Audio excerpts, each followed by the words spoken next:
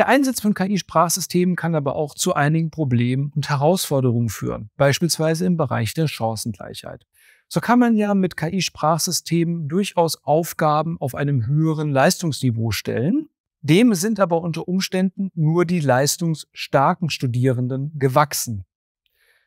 Außerdem profitieren unter Umständen diejenigen Studierenden, die digital affin sind und mit digitalen Werkzeugen wendig umgehen können.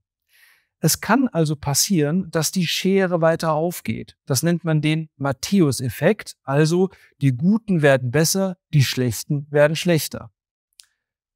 Dem muss man in der Lehre entgegenwirken, beispielsweise indem man auch mit den Studierenden gemeinsam erarbeitet, wie man diese Systeme gut zum eigenen Lernen einsetzen kann.